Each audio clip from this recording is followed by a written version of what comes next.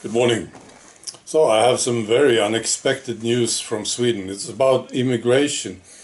People don't want to come here anymore. And a lot of them are leaving. It's true. Uh, this information comes from the government. We have a new government. We got rid of the last one, the Socialists and the Greens, in an election. We got rid of them. You know? And this new one is better. The old one was awful. This one is a bit better. it's not good or brilliant or anything, it's just a bit better. You know. So they are talking about this. So they say it's been going down. And now they say for 2024, Sweden may receive the lowest number of asylum seekers since 1997. And for the first time in 50 years, Sweden has a net emigration. And it is about asylum seekers. You know, Swedes leave Sweden too. They want something else, right? But this is about asylum seekers. Right. Uh, the number of asylum applications is heading towards historically low levels. And they talk about last year.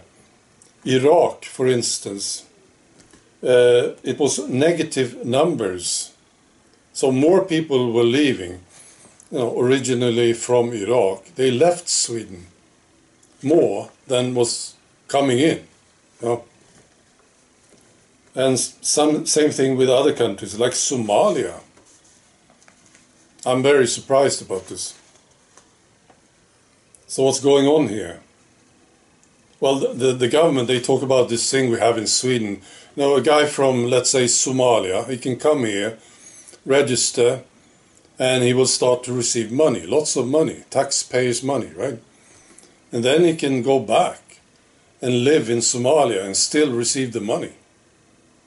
Beautiful system, don't you think? So the government, they have been correcting this. It's brilliant. So of course this spreads, this information, right? this guy from Somalia, he talks to his friends. And he says, "Oh, I'm not getting any money anymore."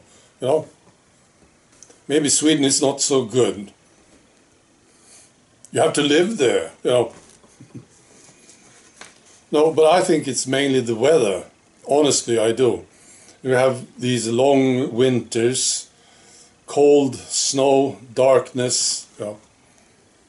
So this guy from Somalia comes here and he says, wow, this is nice. I'm getting this money. I get this apartment here. Beautiful. And then comes winter. and he says, wow, it's damn cold here, isn't it? And snow and it's dark. Oh, I'm getting out of here. I think this is the main one, actually. And the last winter, we got snow from November and all the way more or less up until April, you know. So it's five, like five, six months of cold and darkness. So that's why I think is the main reason. So and but maybe also this, you know, some people came here for peace. You know, they had families maybe, and they left some troubled areas. You know, let's go to Sweden, have some peace for our kids. And then they settled maybe in Malmö or some Stockholm suburb. And after a while, they said, "Oh, it's maybe it's worse here, and it's damn cold too. Let's get out of here." And of course, they talk to friends, right?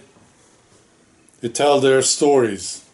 Oh, we moved to Sweden. Look at all the money that we're getting. This is our apartment, right? And then after a while, they start to talk about what, what's really happening there. And they show pictures of the snow. See? So I think this is the why. This is the reason. Uh, fewer people want to come here, and lots of them are leaving. Ah, I think it's a bit hilarious, actually. Now, where are they going? That's another question, right? I don't think they are leaving Europe. Eh, maybe some, go back to their homelands, right? But uh, I think many of them just go to Germany or Greece, maybe Greece, you know, Italy, Netherlands, France. Oh, it's better here. We don't have much snow here. It's nice. Let's stay here. You know, UK. They go to the UK. Spain. Nice. So I don't think it's good news overall, right? It's just this is going on in Sweden now. So what do you think about this? Now, my main problem is the, these people with a certain faith, and they really settled here. So maybe it's too late for Sweden. Uh, but if this trend continues, who knows, right? Maybe it's uh, to change. we'll see. All right. I wish you a great weekend. Be good.